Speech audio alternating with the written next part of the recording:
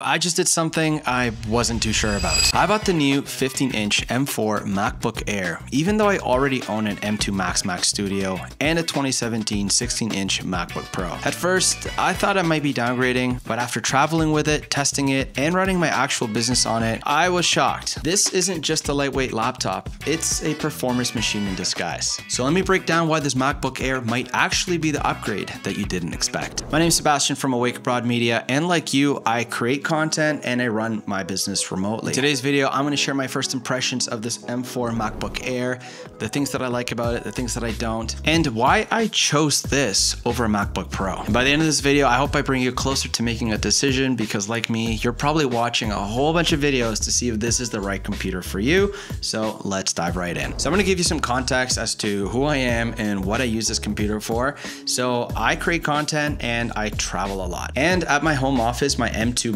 Max Studio handles all the heavy workload that I usually have in a day. But when I'm in the go, I need something that is light and portable that I can move around with and still is able to perform. And for that, I use my 2017 MacBook Pro, which I'm now decommissioning. Since I have an upcoming trip to Europe, I need something that is lightweight and powerful, and that's where this computer comes in. I decided to get the M4 MacBook Air, and what I found surprised me. So in this video, I'm gonna share my first impressions of the MacBook Air, particularly for how I use it, which is video editing, multitasking, and I'm gonna let you know, honestly, if this is a computer that you should get if you're considering getting it for the same reasons that I got it for. Also, a quick note on the unboxing, Apple absolutely killed it, as always. Sleek, simple, and premium, and that tactile pull when you open the box, it's a chef's kiss. But one thing caught me off guard, I didn't get an Apple sticker. Did you? What the or maybe they just discontinued it and I didn't know. All right, let's get right into it. In terms of video editing, I primarily use DaVinci Resolve for all of my video edits. I also use Google Chrome with like a gazillion tabs all the time and a lot of AI and ChatGPT stuff as well. And when it comes to the RAM hogs, the apps that use up most of your RAM, it's gonna be DaVinci Resolve and Google Chrome, of course. So I got the 32 gigabyte RAM option, which is the highest tier of RAM that you can get on the MacBook Air. And honestly, scrubbing through timelines is super smooth, including with 4K footage. Multitasking between Chrome and ChatGPT and DaVinci, it's, it's dope. Like there's no freezing, it's all smooth. I even render the same video on both the Air and my MacBook Pro, and the Air was faster, of course. And here's something interesting. While I was doing a test uh, rendering of a one minute video, it took three minutes to render. I don't know why this happened. I don't know if it was thermal throttling or not. The computer wasn't warm or anything, but it was really slow. So then then I clicked render again, and the next time it rendered it in one minute. So maybe it's the settings that I have on DaVinci Resolve since I just literally installed it on the computer. However, I'm gonna keep testing it throughout this video and I'm gonna let you know how it actually performs in comparison to my 2017 MacBook and my Mac Studio. So I've actually filmed this entire video on my iPhone 16 Pro Max with this dope setup that I just built with an external SSD that also has two USB ports, one for your microphone and one for power, which makes the iPhone a cinematic setup. So if you wanna learn more about that, make sure to subscribe because I'm gonna be dropping a video breaking it down. I think this is probably one of the best setups that you can have if you are on the go. Like if you're vlogging or traveling a lot, your iPhone shooting in ProRes and a MacBook Air does wonders. But now let's talk about battery life, which is one of the concerns that I had having a smaller computer with a smaller battery. I recently flew to the Attention Summit in St. Petersburg, Florida with Ryan Megan and some amazing creators. And I brought both of my computers, the 2017 16 inch MacBook Pro and the 15 inch M4 MacBook Air. Jazz and I sat side by side for three eight hour days taking notes. The MacBook Air lasted me four days before I had to charge the battery and the MacBook Pro died within two days of using the battery. And to contextualize, I was doing the exact same task on both of these computers, having a Google Chrome with Google Docs open on both computers and just taking notes all day. And I gotta say, yesterday I edited my first video on this computer.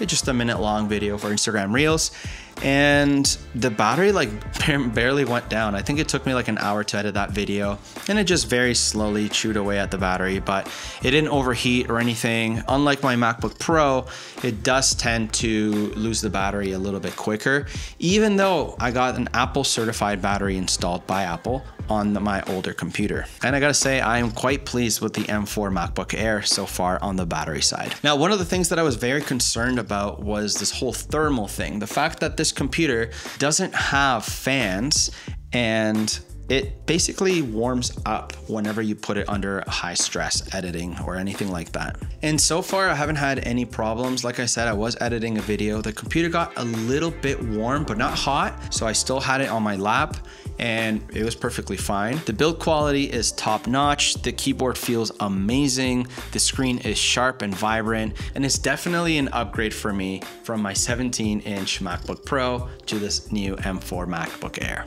Now, of course, I'm not gonna compare this to like an M4 MacBook Pro because the MacBook Pro obviously has more cooling capabilities and more performance capabilities with the Pro and the Max chip, but the M4 chip is extremely powerful. This is definitely an upgrade from my MacBook Pro. And now let's talk about the speakers because I think they're really good. I was watching a video where someone said that they're not that great, but honestly, when I put them side by side, they sound amazing. Uh, the only difference is that you don't have the speaker grill.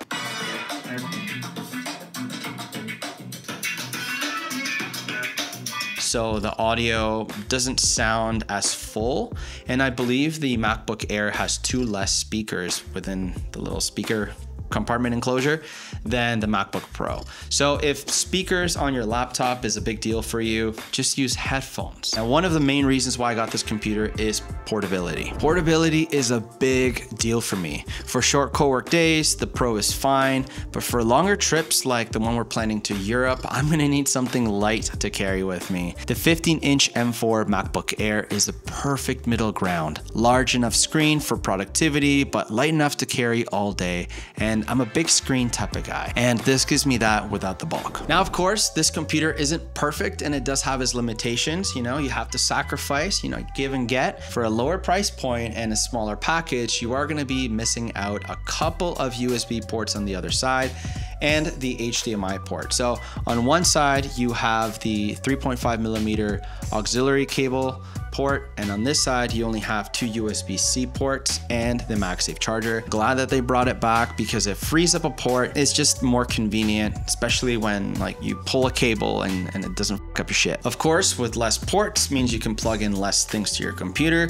So one of the ways that I worked around that, which is one of the main things that you may be wondering is storage. A lot of people say you can get an external SSD, plug it in, stick it to the back of the screen, and that's a good workaround for spending less less money on your computer storage, but I actually decided to spend more, get the one terabyte drive on the M4 MacBook Air, and not have to deal with external storage as much. You know, I plan on keeping this computer at least for like three to five years. So having that internal storage is gonna help me as my content needs grow and the storage needs grow. And as I said earlier, I also maxed out the RAM to 32 gigabytes of RAM. I think that's honestly like the minimum that I would get if you're gonna be doing 4K video editing and multi multitasking like I do. Uh, it's just also a great way to future proof yourself. Even though Apple has the unified memory, you don't really want to be relying on your internal SSD for RAM. But if you ever do need additional RAM, the Apple M4 chip can just kind of swap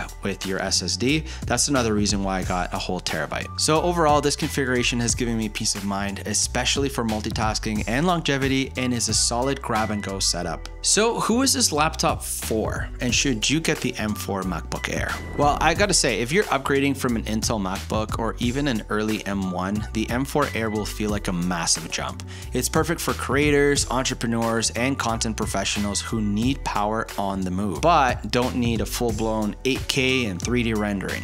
For what I do, editing and running my business on the go, this computer is a dream. I've actually edited this entire video on the M4 MacBook Air just to test it and, and see how it performs. And I gotta say, it's worked amazing. I have no complaints whatsoever. The timeline is so smooth. The screen is nice and crisp. The audio from the speaker sounds great. I love the keyboard and the tactile touch. The battery lasts me enough for me to edit at least one entire YouTube video. And personally, I haven't yet encountered this thermal throttling that people talk about. As someone who edits a lot of videos, I thought I was gonna miss my MacBook Pro. And I'm not saying that the M4 MacBook Air is better than a MacBook Pro. Of course, a MacBook Pro is gonna be better But computers have gotten so darn good in the last five years that you could honestly use a MacBook Air for everything that you think you may need it for. But of course, I want to hear from you. Do you own the M4 MacBook Air? Is it a computer that you're considering buying?